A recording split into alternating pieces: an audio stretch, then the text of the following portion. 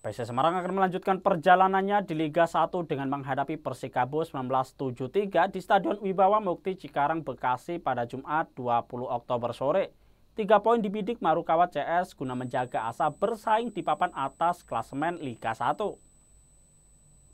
Menghadapi Laskar Pajajaran di pekan ke-16, tim Malaysia Jenar memiliki waktu persiapan cukup lama karena adanya jeda kompetisi di FIFA Matchday.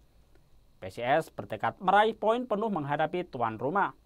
Hal ini seperti yang diungkapkan pelatih PSIS Gilbert Agius dalam sesi jumpa pers jelang pertandingan pada Kamis 19 Oktober kemarin. Meski Persikabo saat ini di papan bawah, Gilbert menilai hal tersebut bukan sebuah keuntungan. Menurut pelatih asal Malta ini, tim asuhan Aji Santoso penampilannya cukup bagus.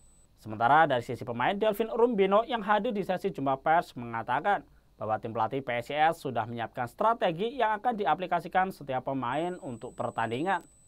PSIS Semarang saat ini berada di posisi kelima klasmen sementara Liga 1 dengan raihan 24 poin. Sementara Persikabo 1973 ada di zona merah yakni posisi ke-17 dengan raihan 10 poin. Jangan lupa follow, like, dan subscribe sosial media Tribun Jateng. Download Tribun X sekarang. Menghadirkan lokal menjadi Indonesia.